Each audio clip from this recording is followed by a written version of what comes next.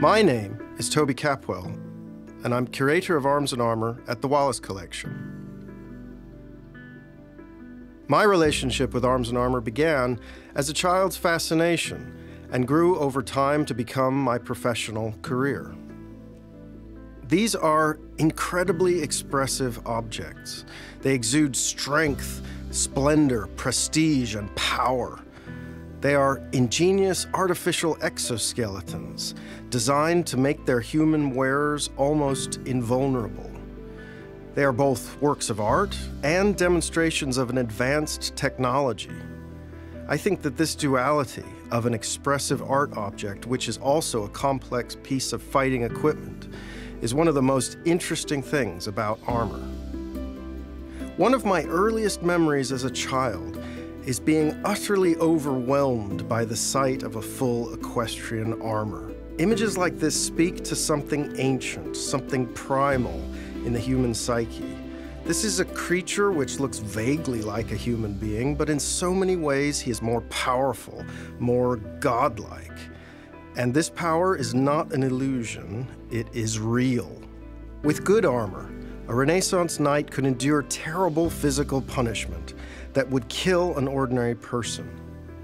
And because of his advanced combat training, learned from childhood, he became much more dangerous too and through his mastery of horsemanship, he assumed superhuman strength and speed.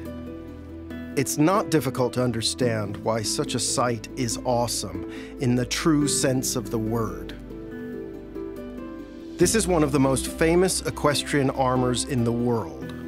Certainly, it's a very important historical object, dating from the 15th century, but I think a lot of its popular appeal stems from this dramatic pose. Unlike most modern museum displays of armor, this one has strong, dynamic body language, which we react to in a visceral way. It seems almost like it is alive.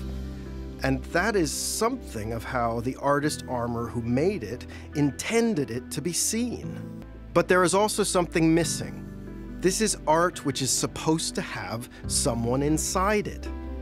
Building an armor was a process through which the artist transformed his patron into a living sculpture. So, to really get armor, we need to better understand the people who wore it. For many years, I've looked at funerary monuments almost as much as I've looked at armor.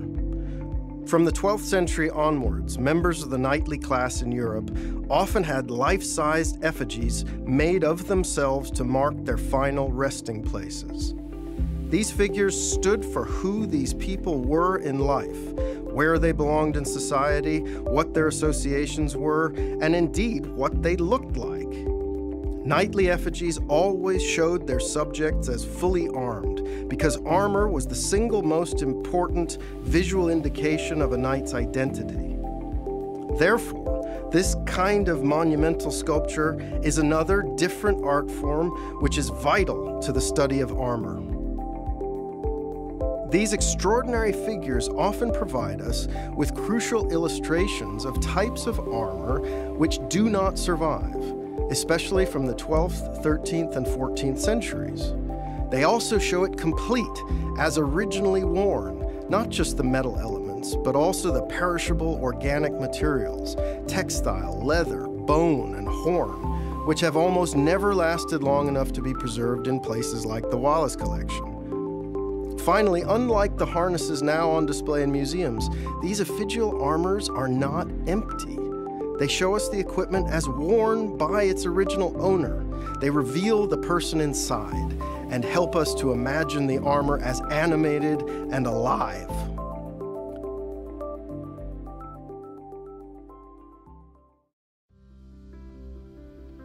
As enchanting as a beautiful knightly tomb experienced in a medieval church can be, it's remarkable that certain very special armors still radiate a powerful sense of their lost owners.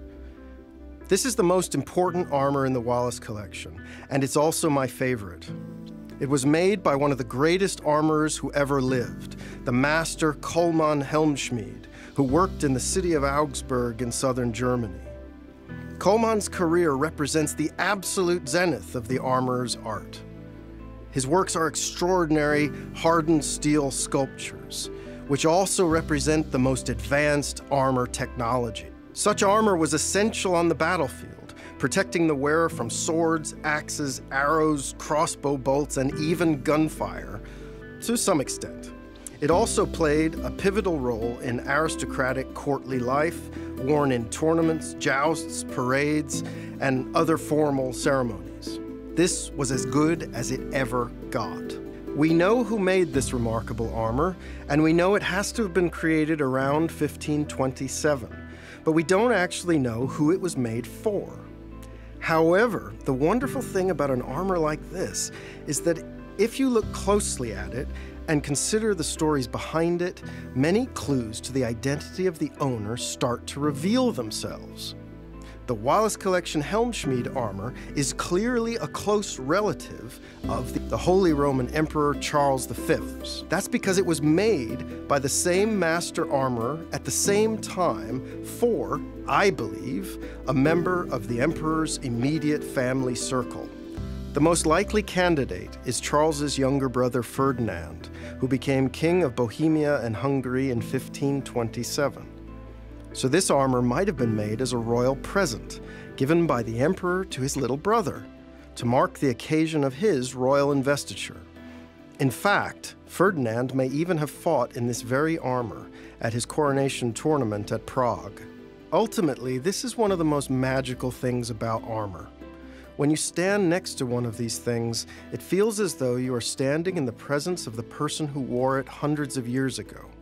The armor was made for them, fitted exactly to their particular body. It surrounded them and protected their body from harm. It augmented them. It is an extension of their person and their identity. In a way, it is them. So, Looking at armor feels stranger and more magical the more you know about it. It is a physical experience that transcends time.